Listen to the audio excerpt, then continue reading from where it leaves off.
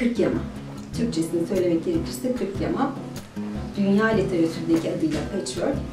Kırk Yama neden? Ee, bizde biraz yokluktan çıkmış aslında. Şöyle ki işte bu hanım Dilendi Bey beğendi de bu işin içine giriyor. İşte o yokluk zamanlarında savaştı, kıtlık varken falan e, bir şeyler üretmek lazım. Yani giysiler yapmak lazım ya da evin işte koltuğunun yamasını yapmak lazım. Eskiyen bir şey yapmak lazım. İşte bu hanımlar dolaşırlarmış sağı solu da birçoğun e, kişinin evinde vardır zaten seccadeler, rengarenk, birbirine benzemeyen kumaşlarla falan. Ee, Ondan sonra onlar işte hanım dilendi bey beğendiden çıkmış 40 yama bizdeki adıyla, dünyadaki adıyla patchwork. Dünyada biraz daha böyle endüstri haline gelmiş, bizde biraz daha yokluktan dolayı ortaya çıkmış.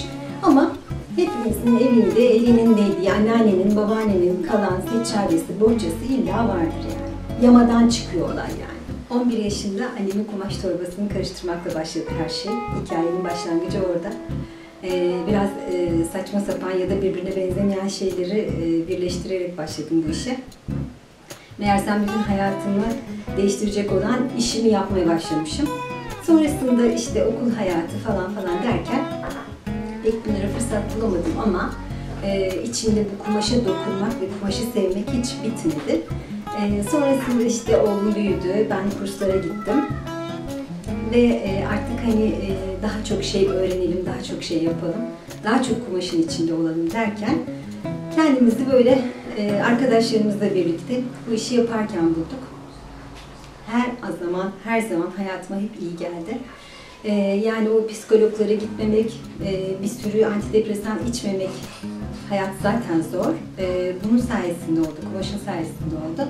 Ben kumaşa dokunmayı her zaman çok sevdim kumaşı ellemeyi her zaman çok sevdim. Ee, o renklerin birleşmesi aslında hayatın bütününe ulaşmak gibi, parçaları birleştirmek gibiydi benim için. Çok mutlu bir şekilde devam ettik. Güzel işler yaptık, projeler çıkarttık, sergiler hazırladık.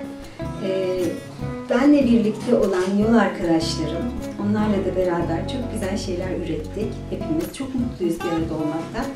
Ee, biz birbirimize iyi geliyoruz aslında bana kalırsa. E, çünkü sadece burada e, birlikteyken, dikerken, e, kumaşları yan yana koyarken e, birbirimize iyi geldiğimizi de fark ettik. Yani işte o, o kumaşı birleştirirken dışarıdaki bir sorunu anlatmak, o kumaşı birleştirirken dışarıdaki sorunu benim de vardı, benim de başıma bu gelmişti derken ona çare olmak hepimize iyi geldi gözümüzün gördüğü, elimizin tuttuğu son ana kadar sanırım biz bu işi yapacağız. Herkesin hobisi olsun. O ya da bu. Resim, fırça, iğne hiç fark etmez. Ama ım, hayata bir şekilde dokunmamızı sağlıyor. Daha kolay geçmesini sağlıyor hayatın. O yüzden biz çok mutluyuz kumaşlarla birlikte olmaktan. Kumaş karıştırıcısı dedim ben aslında kendime. Kumaşları karıştırdık. Hayatı da karıştırdık.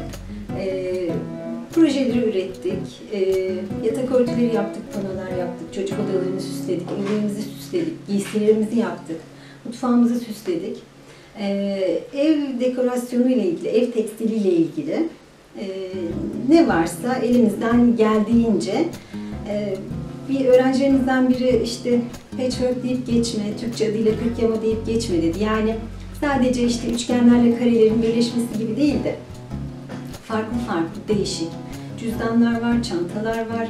Yani bir sürü şeye elimizi değdirdik aslında. Ee, erkeklere işte yastık istiyorlar, yastık yapıyoruz. Ee, takım tutan işte Fenerbahçe'de, Beşiktaş'ta onlara yastıklar yaptık falan. Erkekler biraz daha geri planda, daha çok kadınlar, çocuklar galiba. Karavay aslında benim hayalimdi. Ee, çok ütopik gözükürken e, birdenbire oluveren, birdenbire ortaya çıkıveren bir şeydi. Ee, çok kendi kendine oluştu aslında Karavel. Ee, birdenbire yani hani böyle hep hayalidir. Hobi yapanların hep hayalidir. Bir atölyem olsa. Ee, benim de oldu çok şükür. Ondan sonra hayalimize kavuştuk. Çok mutluyuz. İçeri girdiğimiz an huzurla birlikte e, içeriye giriyoruz yani. Çok keyifliyiz.